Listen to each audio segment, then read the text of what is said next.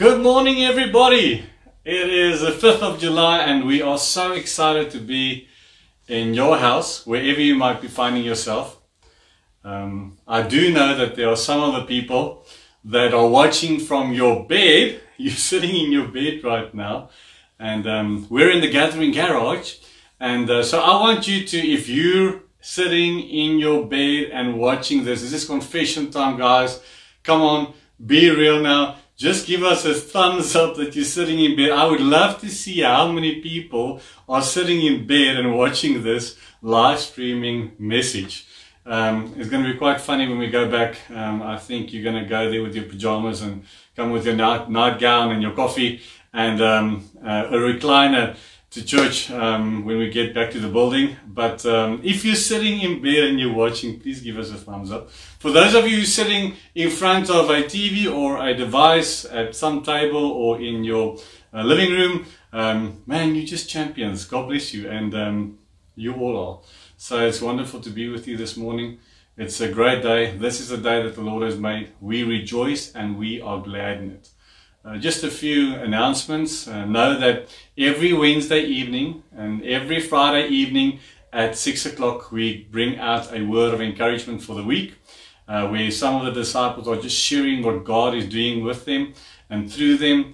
And um, specifically, I was blessed this week uh, with Tian's message when he was speaking about the whole principle of blessed to be a blessing. And um, if you've not watched it, yes, please go and watch that.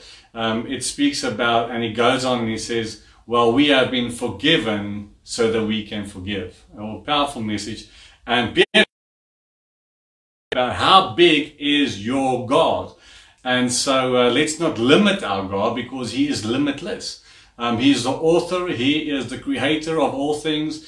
And so I want to encourage you to get into those messages on a Wednesday and a Friday evening and share it abroad. Wherever you have friends and family, do share that with them. It's also on YouTube, that's where we load it. So for those who don't have Facebook, I know there's many people that still doesn't have Facebook and uh, we honor that, but uh, they can go and have a look at those messages and um, share them. Share them from our Facebook page, share them wherever you want to. And um, if you are tuning in for the very first time, on the Gathering Facebook page, well, welcome. Um, I saw that there are uh, new people that have liked our um, Gathering Facebook page, and we welcome you. Um, I see people from Bloemfontein and from just all over just starting to join in on these live streamings, and we just want to welcome you. And then, last but not least, I want to also say this morning if you've had a birthday, be that physical or spiritual in the past week, we just want to congratulate you. My father on the 2nd of July, the same day that um, the Z had a birthday this week, uh, my father celebrated 45 years of serving the Lord. And while he said that, I was just so blessed in that moment, um, having hardly words to speak. Um, that is three years older or longer than I'm alive and um, serving the Lord passionately. So, Dad, I just want to give a shout out to you today and just honor you for your faith and your diligence and the fact that you are serving the Lord passionately and um, you and mom just love you. So uh, that's a little bit personal on uh, on an international platform, uh, social platform, but I want to just say God bless you all and uh, keep on serving the Lord. If you are serving the Lord, keep on serving the Lord. So um, I want to just say to you this morning, I can't wait to get into the Word. And uh, we would love to know where you're watching from, so please just quickly write down there.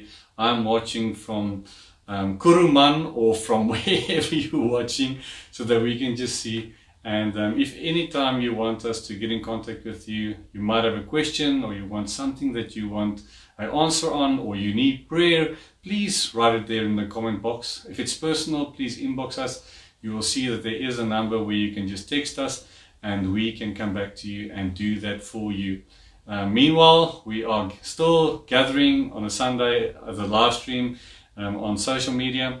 Um, I know you guys want to get together, back together. We do the same. But um, family, keep strong um, and keep your focus on Jesus Christ, the author and the finisher of our faith. But with that being said, welcome and uh, let's get into today's word. But I'm going to start off by just praying and then we will continue. Lord, I want to thank you for this day. Lord, I want to thank you this morning that I can declare my total dependency upon you because you are God and we are not. And I thank you, Holy Spirit, that in this moment that you will speak through me as a vessel. I am only a vessel. And I pray, God, that the living waters of your truth, of your word will flow today and that it will bring life to wherever the seed of God will fall and that there will be a great coming forth of fruit and a harvest in people's lives and that we will live accountably to you and for you and for your kingdom's sake in Jesus' mighty name. You be glorified and blessed in Jesus' name. Amen. Amen. So, yesterday I made a quick video. Um, and don't worry, while I was driving, um, I just pressed the play button once to record and I kept my eyes on the road on the N1 and um, then I just stopped it and uh, just said to you, listen, I'm really excited about today's word and today's words, a message is entitled Presumptuous, Presumptuous, I know it's big words, Presumptuous or the other way to say it is Arrogant Faith. So the title for this morning's message is Presumptuous or Arrogant Faith, which should not be part of a believer's life in the kingdom of God.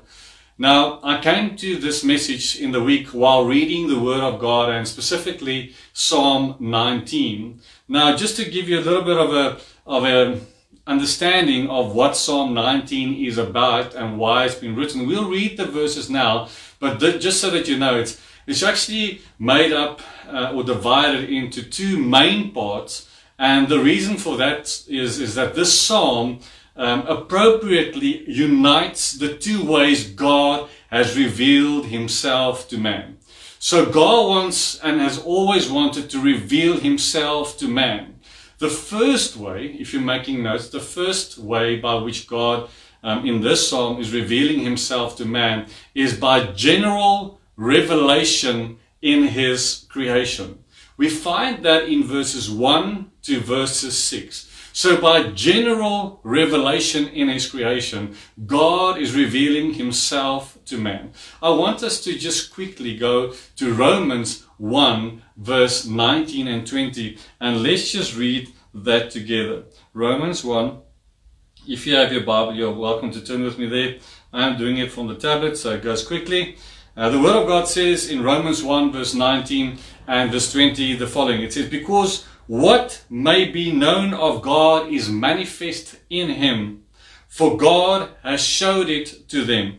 For since the creation of the world, um, uh, the world, his invisible attributes are clearly seen, being understood by the things that are made, even his eternal power and Godhead, so that they are without excuse.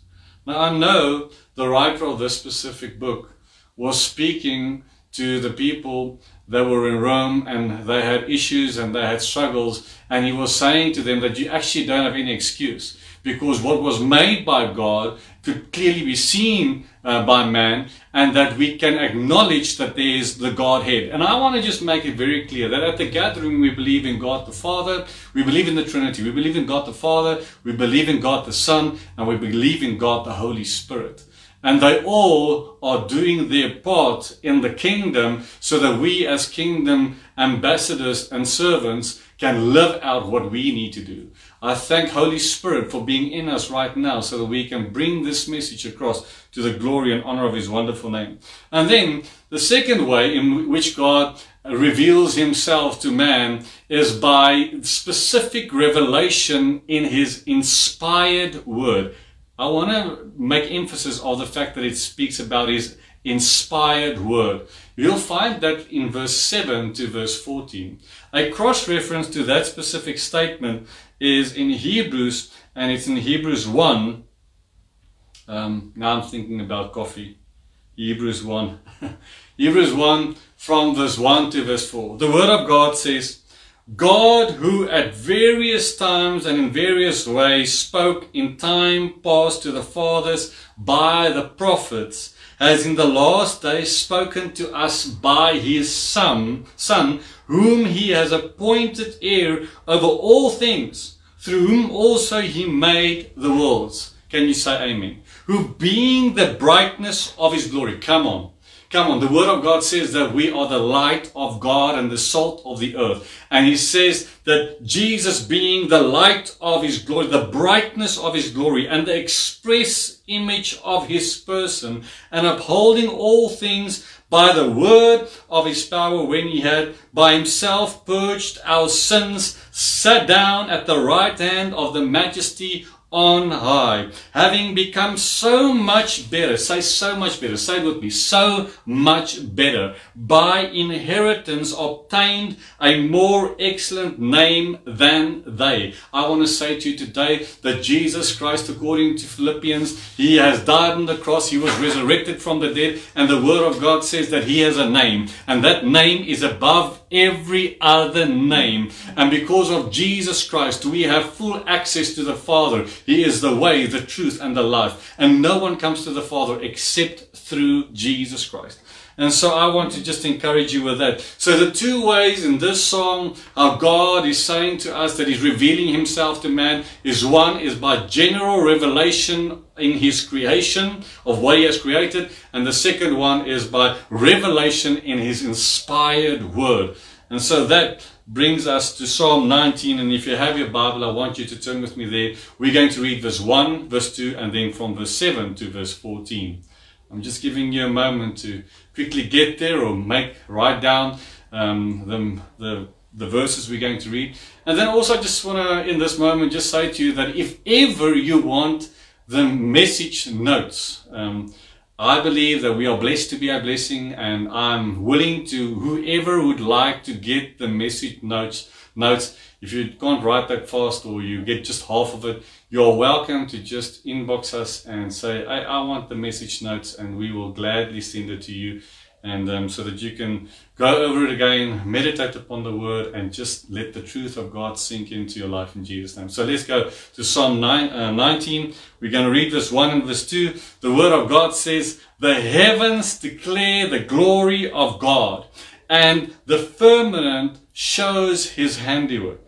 Day unto day utters speech, and night unto night reveals knowledge. So every single day, day in and day out, uh, from sunrise to sunset, and the next day, I want to say to you that God is revealing Himself in creation. Then we go to verse 7. The Word of God says, The law of the Lord is perfect. The instruction of the Lord, the way of the Lord is perfect. Can you say amen on that? Amen. The word of God says converting the soul, converting. There's a change in the soul. Now we know that our soul uh, is our mind, our intellect, our will, our emotions. And um, after becoming born again, we need a conversion of the soul. Now, um, I'm speaking right up the alley to those mechanics and people that are into tuning and chip tuning and and all these things in cars, um, there's upgrades that can be done on vehicles. So you buy a two liter and it's putting out uh,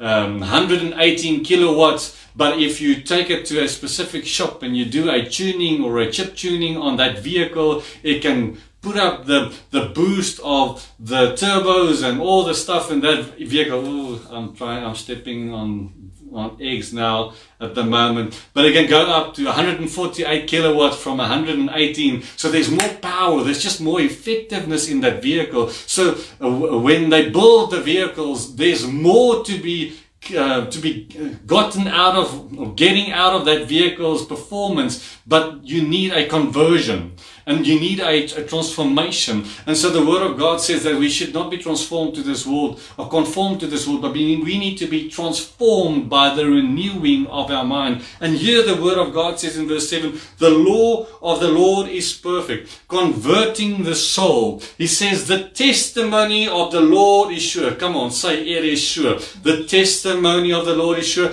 making wise the simple. He says the statutes of the Lord are right. The statutes of the Lord are right. They're not wrong. They're not uh, feeble. They are not um, wonky. They are right. the word of God says enlightening the eyes. He says the commandment of, of the Lord is pure, enlightening the eyes. Verse 9, the fear of the Lord is clean, enduring forever. The judgments of the Lord are true and righteous altogether. More to be desired are they than gold. Yea, than much fine gold, sweeter also than honey and the honeycomb. Moreover, by them your servant is warned, and in keeping them there is great reward. Verse 12 says, Who can understand his errors? He's speaking about us. Cleanse me from secret faults. Keep back your servant also from presumptuous sins. Let them not have dominion over me. Dominion over me. I want to say to you, this is a powerful portion of scripture. We shouldn't let presumptuous sins have dominion over us. Us arrogant sins, it shouldn't have dominion over us as children of God. We should be living free in the kingdom of Jesus Christ. And then he says, Then I shall be blameless, and I shall be innocent of great transgression. He says in verse 14, Let the words of my mouth and the meditation of my heart mm-hmm. be acceptable in your sight, O Lord, my strength and my redeemer. Mm-hmm. Um, there's that song that we sing, My Redeemer lives. My Redeemer lives. I want to say to you, our Redeemer, He lives. Mm-hmm. He's alive. Now, I want to just quickly sum up the first verses from verse 7 to 11, and I want to say it like it is as follows. I want to sum it up. It says, if you and I want a converted soul, be wise while we are simple. Have a rejoicing heart, enlightened eyes, the fear of the Lord forever, and having the desire after the truth of God while being warned that what not to do and what to do, we will be rewarded. Now, I don't know about you. But when we do things, it is great to be rewarded. Mm. It's great to be rewarded. It's wonderful to be rewarded. There's a sense of satisfaction and just the blessing of knowing that you have accomplished something and that you are rewarded. When someone comes to you and they say to you, well done, I tell you that is a great reward. If someone gives you something because you've done some, something, it's a great reward. But yeah, I've, as I've just summed up those few verses, I want to say to you, who has the fear of the Lord forever and having the desire after the truth of God while being warned not to do and what to do, we will be rewarded. If we are genuine believers and part of the kingdom of God, we will desire, say desire, say desire after me, desire after the truth of God and do his will and word. Amen.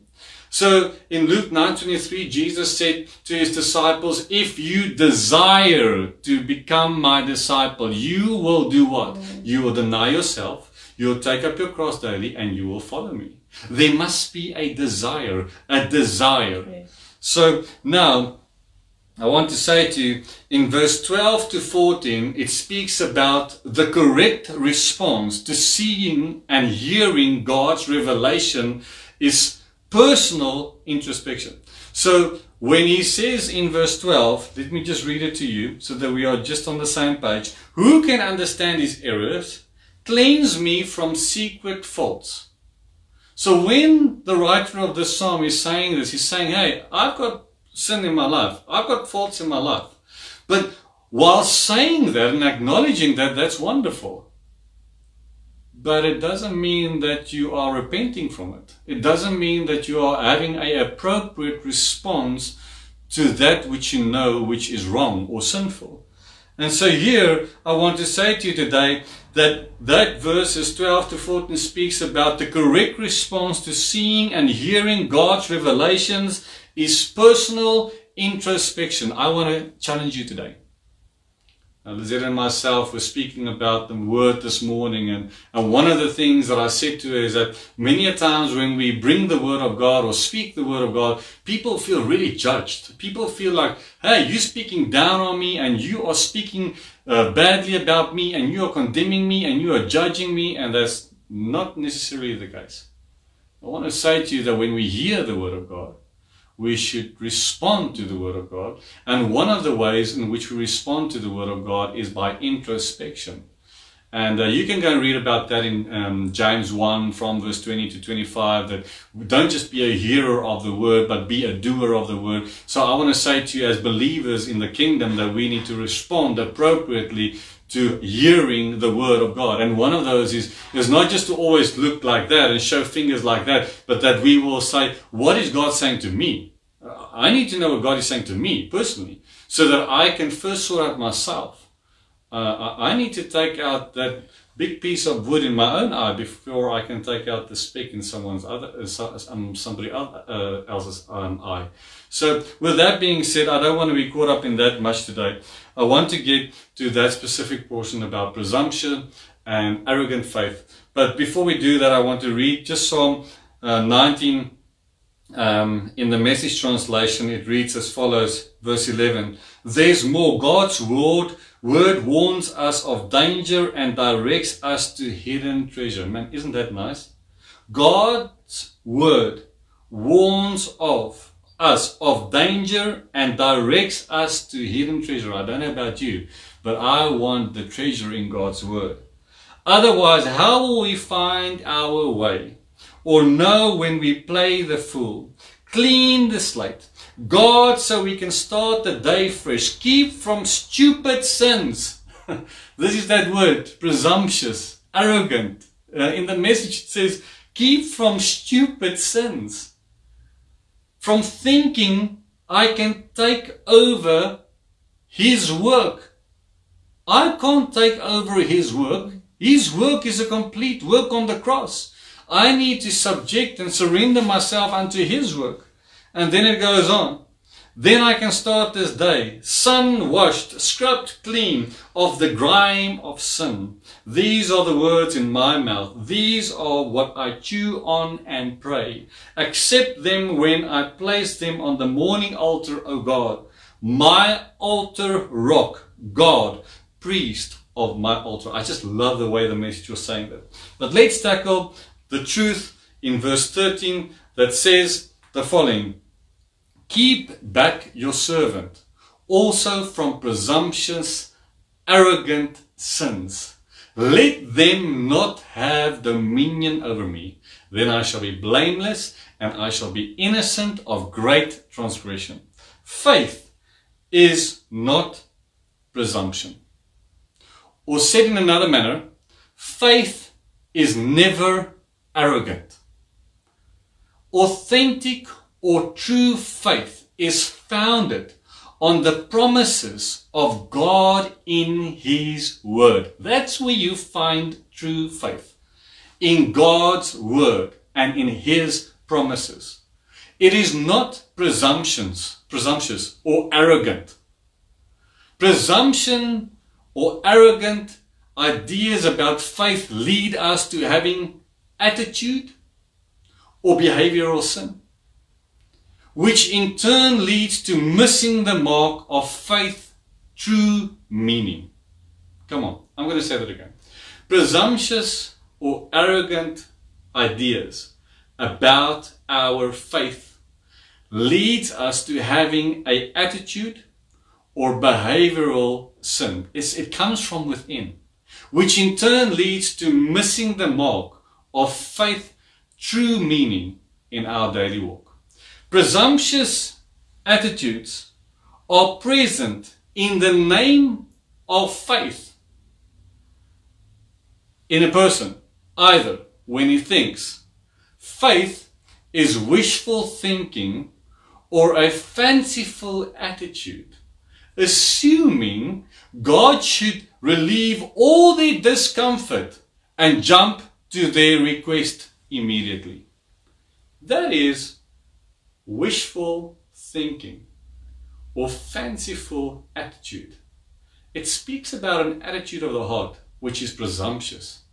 It's arrogant to think that if we prayed a prayer or we've done something by the flick of our fingers that God should just respond and, and if God doesn't respond then I'm angry at him. I'm cross at him and I'm really? Really? Do we know that we are speaking to the creator of heaven and earth? Do we understand that we are in a right standing relationship with God, the author of our lives, the one that brings breath into our lungs? I want to say to you that I honor my earthly father, my father-in-law. I honor my mother, my mother-in-law. I honor my wife and our children and those who are around me. And I want to tell you, if ever I have an attitude with one of them, I really have to quickly get down to confession. And with that being said, aren't we sometimes very arrogant by saying, I'm cross at him? Really? Can we do that? I know that many times when I would correct one of the children, they would say that they had a, they've had a bad day because of one correction. But I know one thing, that we are speaking into their lives so that they might come to a place where they would honor and have a, a great relationship and that they won't be arrogant or presumptuous in their faith and in the way they're living. But that doesn't mean that they are cross and angry at us. That just means that they have been corrected. Another way in which attitudes are present when in the name of faith a person is doing stuff that is wrong is rejects that person rejects any responsibility on their part to offer a devoted heart and to commit to serve him regardless of their life condition regardless you reject any responsibility on your part to offer a devoted heart and the commitment to serve Him regardless of your life condition. You say, Steven, Steven, you are speaking easily. You might say that. You just might not know me that well. I want to say to you today, you will know that I've many times in the past said the following. We don't serve God for what we can get from Him. We serve God for who He is. He is God. And because He is God, I serve Him. I love him. I adore him. I exalt him. I praise him. I live for him every single day. When I wake up and I've got breath in my lungs, I stand up to the glory and honor of his name and I walk out of this house and I do what I need to do no matter the conditions of life that we are facing. You might say, you don't know my situation and you are right. But I want to say to you, don't be presumptuous in your faith or arrogant and saying, you know what, I'm not going to take that responsibility on me. Don't have that attitude. That is attitude or behavioral sin, and it's not part of a kingdom ambassador and, and citizen's life. We shouldn't be living like that. Presumptuous, presumptuous desires, the promise of God without living a life for God, and is hypocritical in his sight, like the Pharisees in the days of Jesus. I want to say it again. Presumption desires the promise of God. So presumption, arrogance desires the promise of God. They want all the benefits of God. You want everything that God has for you in the Word. You want all the faith. You want all the, the wonderful miracle signs, healings, and all the things that go. You want the prosperity. You want all these things. But you are hypocritical in your life because it's all about just that like the days when the Pharisees were doing things. In Matthew 15 verse 8, you can read there with me in Matthew 15 verse 8, the word of God says, These people draw near to me with their mouth and honor me with their lips. But, you see that but? But their heart is far from me. Jesus was saying this about the Pharisees. They were bitter enemies of Jesus and his cause, and were in turn severely rebuked by him for their avarice. You might be saying, Steven, now you are saying a, a big word. Avarice means to get earthly possessions and have just many things. Uh, for their avarice, their ambition they were rebuked for, hollow reliance on outward works an affection of piety in order to gain popularity. I want to say to you that the Pharisees were out there and all they were doing constantly, and you can go and read in the Beatitudes or the other name being known for it is, um, uh, goodness gracious, now it's just left me for a moment. Um, Matthew 5, Matthew 6, and Matthew 7, Sermon on the Mount. Um, just for a moment, it just left me. On the Sermon on the Mount, Jesus was speaking, and then he was speaking specifically to the Pharisees. Actually, he had his disciples around him. Um, he sat on the mountain and he was teaching them on um, behavior, behavioral um, attitude, and all those things. And he said to them, Don't be like the Pharisees who go out into the streets, stands on the corners, and pray so that everybody can see them. Don't be like the Pharisees that when they fa- uh, they um, they are um, fasting that they've got long faces and you, you they they're asking people are asking what are you doing? Don't be like the pharisees that when you give that everybody should know about it. No don't be like that. You see the pharisees were just on the outward appearance but from the heart there was nothing. They've already received their reward because man has praised them. And i want to tell you that we should be careful not to be pharisaical in our way of life as believers in the kingdom. We don't need the approval of man. When I bring a message, I don't have to ask anyone, how was it? Was it great or was it good? And I often do that. Why? It's not that I want just the recognition of man, but um, I have to be careful not to get the appraisal of man. Just saying, sure, but you're really upright up front this morning. Yes we need to look into our hearts as to why we are asking certain things. I want to say to you that when we bring a message, we are really trusting the Holy Spirit to speak to us. That's why it's a two-edged sword. First, the sword cuts to me, and then it comes to you. Now, to protect us from a presumptions, presumptuous or arrogant attitude like the Pharisees. Say amen. Praise God. All right. So we don't have to be pharisaical. So to protect us, do you want three keys to protect you from being like the Pharisees. Can you just say amen? Say amen, amen, amen, amen.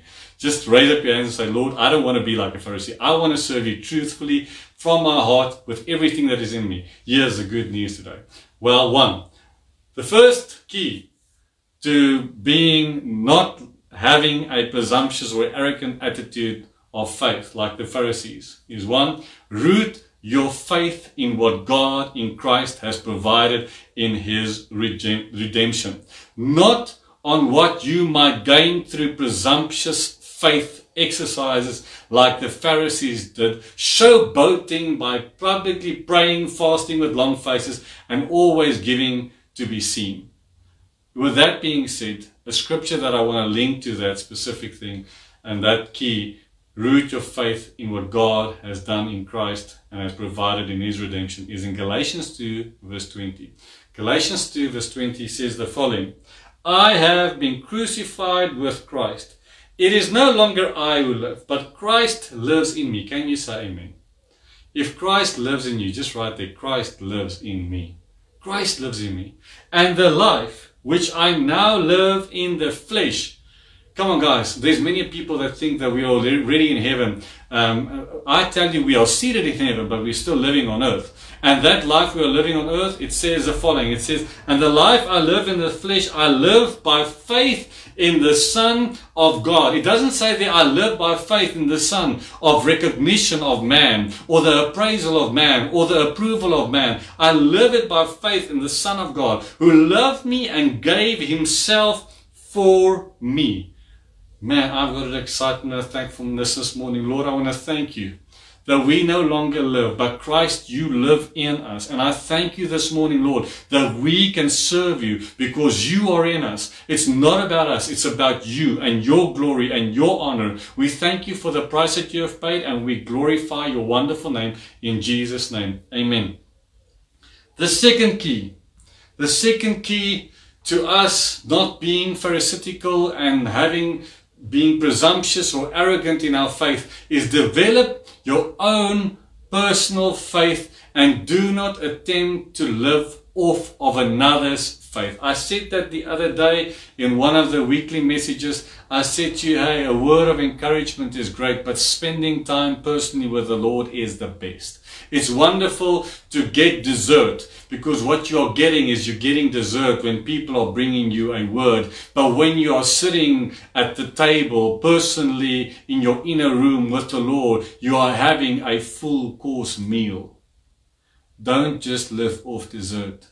Too much sugar is not good for you. Get the word in its fullest form. And I'm not saying don't listen to those words. I'm saying have a personal relationship with God.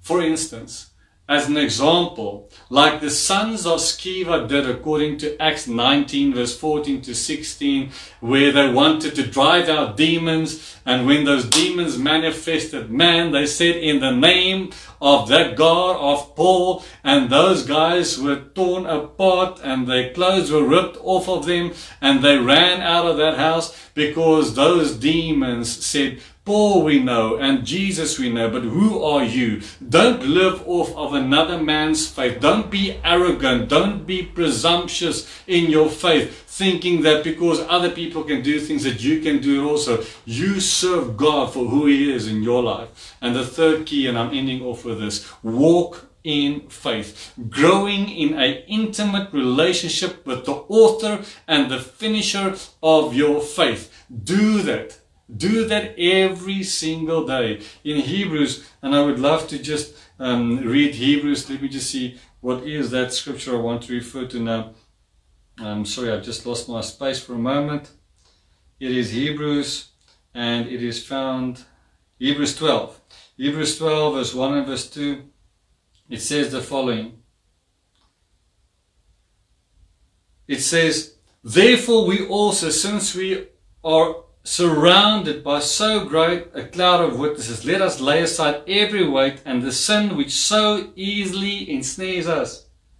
And let us run with endurance that race which is set before us, looking unto Jesus, the author and the finisher of our faith, who for the joy that was set before him endured the cross, despising the shame, and has sat down at the right hand of God. I want to say walk in faith, grow in an intimate relationship with the author and the finisher of your faith, so that you are known as his. In John 10, 10 verse 27, he says there that the sheep knows the shepherd's voice. I want to tell you, get into that intimate relationship with God where you know the shepherd's voice. And lastly, be found in him. In Philippians 3, the word of God says the following in verse 9. Philippians 3 verse 9, the word of God says it as follows. It says, and be found in him, not having my own righteousness, which is from the law, but that which is through faith in Christ, the righteousness which is from God by faith. I want to say to you today that you need to be found in Him, you need to walk in Him, you need to be known by Him, because that is what God wants for each and every one of us. This is a mouthful, but when we walk in His will and we are led by the Holy Spirit, we will not have a presumptuous and arrogant faith, but a genuine faith founded in the love and the revelation of God in Christ Jesus. The Pharisees served God to get the approval, acclamation, and appraisal of man, while we ought to serve God that will lead to loving and serving people from a heart of love because we've encountered him for who he is. God enables us to do all he wills to do through us and in us. In our own strength, we can't accomplish anything everlasting. We might receive earthly recognition, but not heavenly rewards. Let's walk in genuine faith and not presumption and sin. I want to pray with you this morning. Let's close our eyes. And I just want to thank the Lord for this word. Lord, I want to thank you this morning that we can come and just sit around your word. I know this has been a mouthful, God, and that we have a lot to think about this morning. But I thank you that you are zooming in. You are just putting the spotlight on us so that we will have introspection, that we will live a genuine faith lived life in the flesh in Christ Jesus, not in our own strength, not in our own accord, but to the glory and honor of your wonderful name. I thank you, Lord, that we can pray this morning and say thank you for your word. And also this morning, we come and we pray for there's so many people there who have sicknesses, diseases, infirmities. I stretch out my hands right now. And Lord, as people are listening to this word of prayer right now, and as we speak it, I speak now healing, deliverance, freedom over people's bodies in Jesus' name. I know there's someone going in this morning for an operation. I pray for him right now in Jesus' name. I thank you, God, that you touch him and that you use the doctors and that you would just do a glorious work in his body. And for so many other people that are struggling and suffering and that are in need. We speak, God, that there will be a provision. If you could provide for the Israelites in the desert, you will provide for your sons and your daughters in the kingdom. We thank you for that. We bless you. We honor, we honor you. We love you and we glorify your name in Jesus' name. Amen. I want to say it was great being with you this morning. God bless you. Love you. Remember, be a blessing as you are blessed in Jesus' name. Cheers.